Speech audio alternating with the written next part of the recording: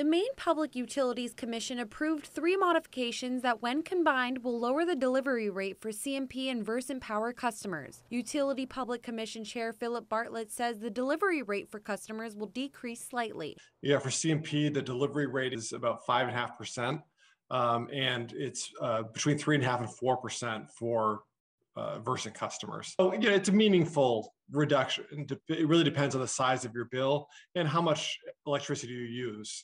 On your bill, there are two sections the supply, which counts kilowatts per hour, and also a delivery cost. The rate of delivery cost is the only price decreasing on your bill. According to CMP's Vice President of Customer Service, Linda Bill, the delivery fees pay for things like billing, wires, and storm restoration maintenance. Both CMP and Versant Power were able to come to a compromise with the state's Public Utility Commission. We're really, really happy to say that while all of the other prices in the economy are going up, our delivery prices are actually going down five and a half percent July 1st as a result of that reconciliation.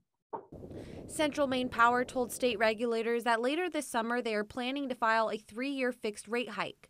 Governor Mills said in response if CMP tries to hike up the price for customers, she will counter their move through her energy office. In Bangor, I'm Stephanie Wittenbach reporting for ABC 7 and Fox 22.